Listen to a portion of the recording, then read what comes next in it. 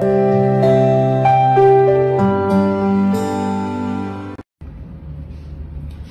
្រើនពរញាតិញោមពុទ្ធបរិស័ទទាំងអស់គ្នានេះអាត្មាណែដើរតួជាព្រះសង្ឃក្នុងកម្មវិធីរំលឹក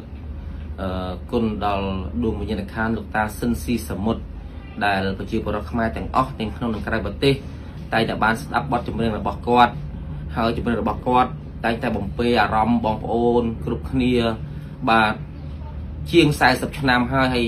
នឹងបន្តរហូតប្រអីសម្លេងរបស់លោកតាស៊ិនស៊ីសមុទ្របងប្អូនដឹងហើយគេថាមិនសាបសូន្យទេបាទរាប់ពាន់ឆ្នាំទៀតដែលជាមរតកសិល្បៈមួយរបស់ខ្មែរយើងជាកិត្តិយសរបស់កូនខ្មែរយើងដែលមានបាទតារាចម្រៀងដែលសម្លេងពីរោះស្ដាប់គ្រប់សម័យនៅតែព្រោះហើយថ្ងៃនេះអាត្មា បាទដើរតួធ្វើប្រសង់លេងក្នុងសាច់រឿងមួយដែលតទៅនឹងចម្រៀងរបស់លោកតាសុនស៊ីសមុទ្រហើយក៏សូមប្រទិកសលផលបុណ្យបាទសូមជូនដល់លោកតាសុនស៊ីសមុទ្រសូមឲ្យលោកបានទៅកាន់សុគតិភពមួយសូមឲ្យលោកបានមកចាប់ជាតិនៅប្រទេសកម្ពុជាយើងវិញបានបានបង្ហាញសម្លេងដូចដើមដូចមុនមកទៀតដើម្បីឲ្យកូនខ្មែរបានស្ដាប់សម្លេងដ៏ពីរោះល្អឯកបាទឥឡូវ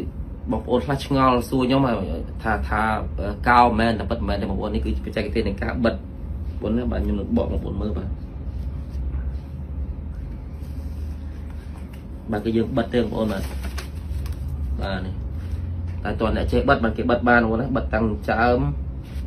បិទទាំងក្បាលទាំងអស់បិទឡើង3 4ម៉ោងបងប្អូនរំបានបានលេងនឹងបិទ3 4ម៉ោងហើយ